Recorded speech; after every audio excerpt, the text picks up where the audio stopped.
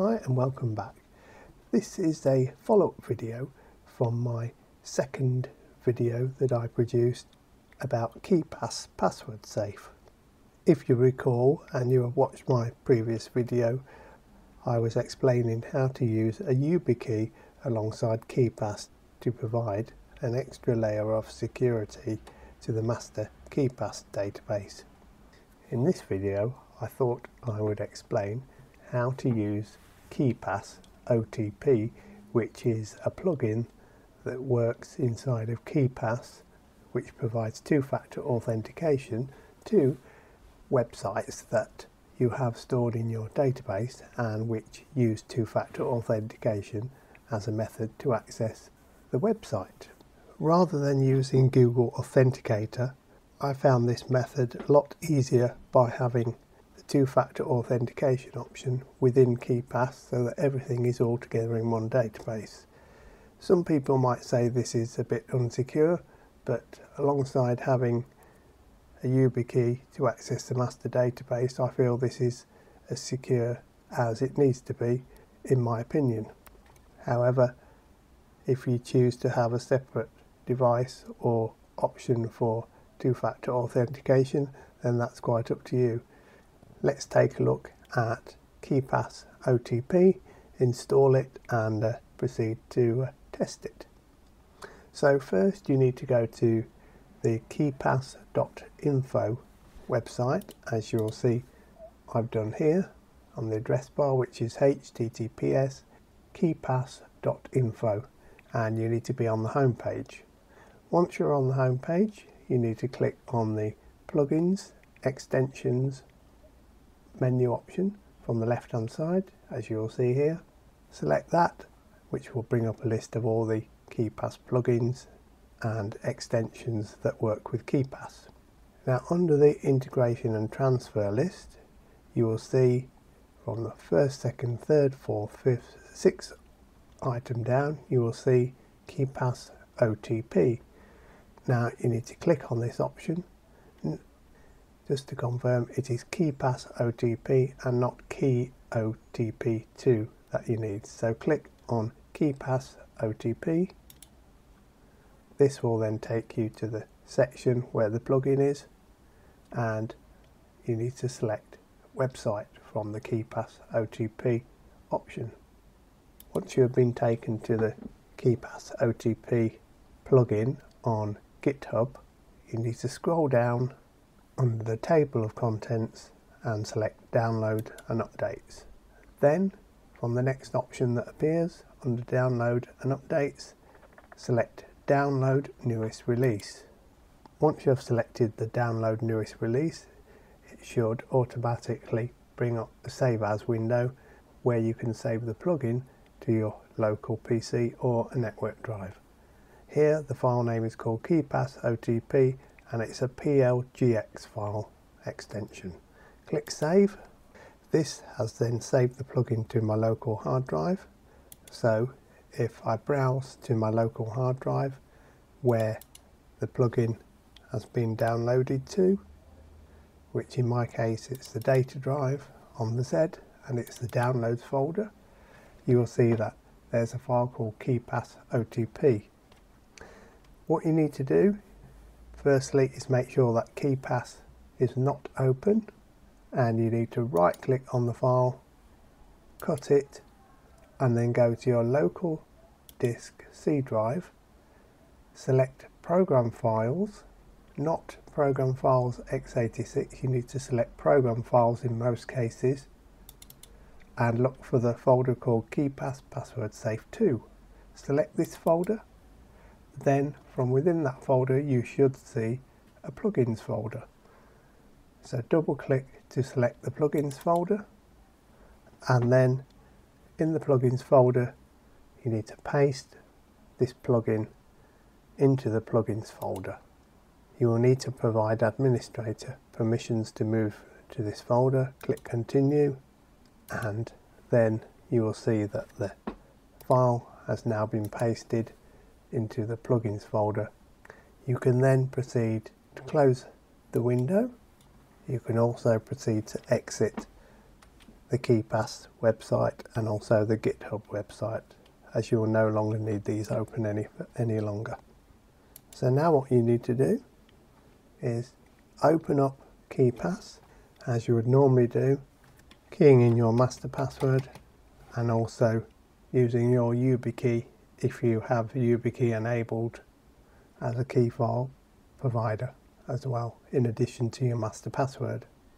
This should then open up KeePass, password safe and if you browse to the tools option and select options from the pull down menu as you'll see I've done here you should then see a plugin tab at the right hand side just to the right of advanced when you open up the options window click on the plugins options and you should automatically have populated KeePass OTP overview tabs and under that there should be a general tab OTP settings and also more information and the window should be populated with OTP information.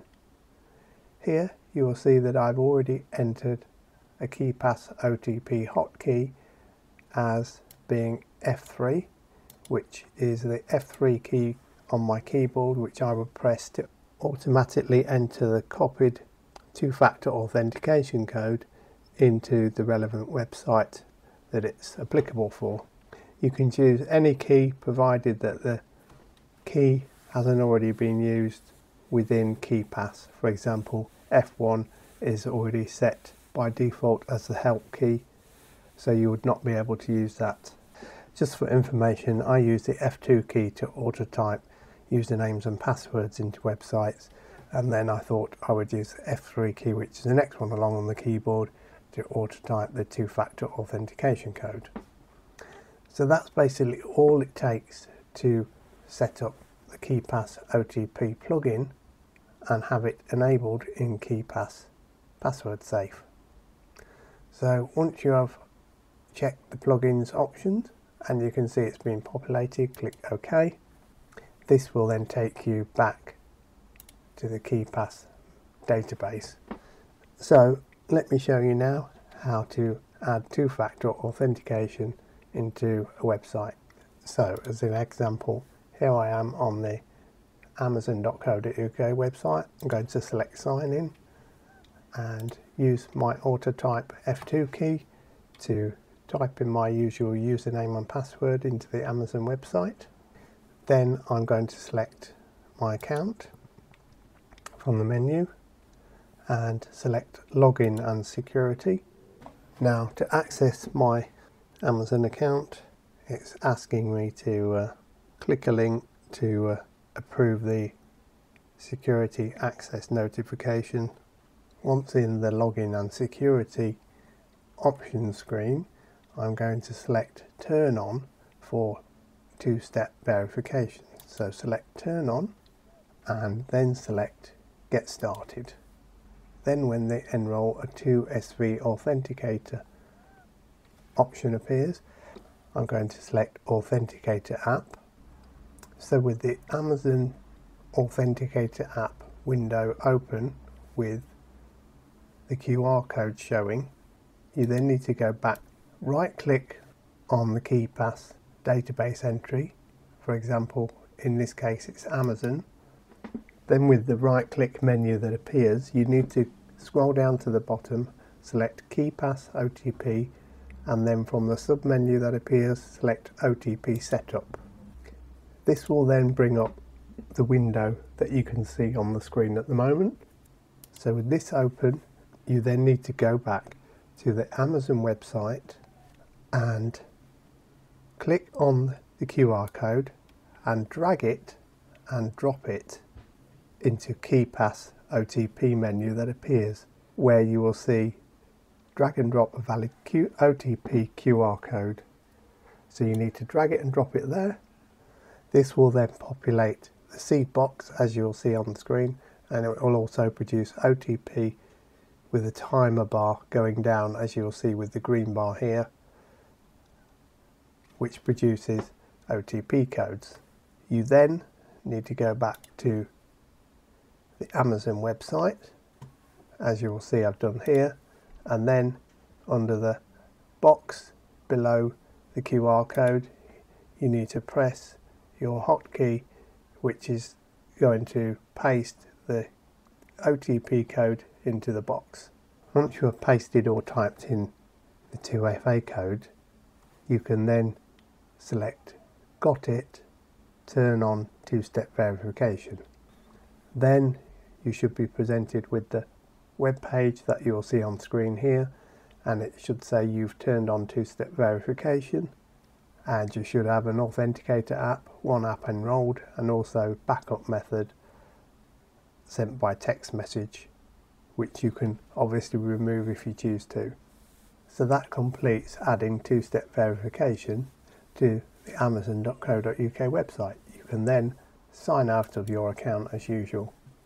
You can then proceed to click OK on the KeePass OTP plugin window that appears on top of the KeePass database. This will then take you back to your main KeePass database. You need to select Save Database to ensure that the changes for OTP have been applied to the relevant website account that you've just set up, in this case for Amazon. That completes adding an OTP entry to one of the websites in the KeePass database. You just need to follow the various instructions for each website that you want to apply OTP for. Then in future, all you need to do to sign in using your two-factor authentication OTP option in KeePass is click sign in or to type your normal email and password to log in to the Amazon website. Then you will be presented with a two-step verification and enter OTP window.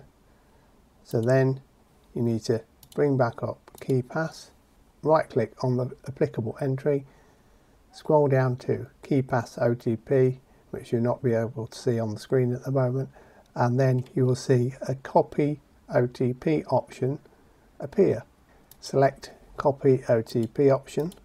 This will then bring up a timer with an OTP entry option and you need to do control V, paste the OTP two-factor authentication code in the browser.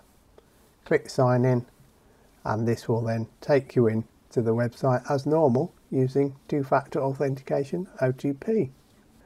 Once I've applied KeePass two-factor authentication to various websites, I tend to change the icon against each entry so that you know in future that it's got OTP two-factor authentication applied to it. So to do this, you right click on the relevant entry and from the menu that appears, which you can't actually see on screen at the moment, you need to select edit entry and then from the edit window that appears you need to click on the icon. In this case it's a yellow key which will then bring up another window where you can select a different icon and choose one which you find is applicable to uh, reminding you that two-factor authentication OTP has been applied to that entry. In this case I'm using entry number 51 as you'll see it's just changed to a padlock icon so I will click OK and then once back at the main KeePass database you will see that the icon has now changed to a padlock against Amazon.